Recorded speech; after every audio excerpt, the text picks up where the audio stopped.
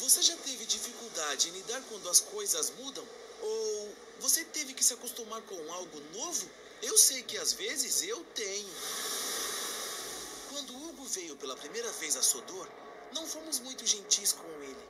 Nós nunca tínhamos visto uma locomotiva como ele antes, mas assim que o conhecemos, percebemos que ele era realmente muito bom. O Gordon estava muito infeliz pelo Edward e pelo Henry saírem dos galpões. E pela Nia estar dormindo lá. Mas no fim, ele percebeu que mudar onde eles dormiam não precisava mudar a amizade deles.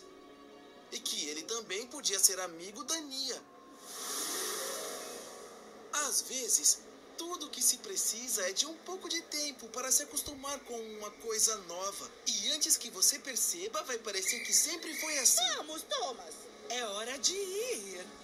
Até a próxima!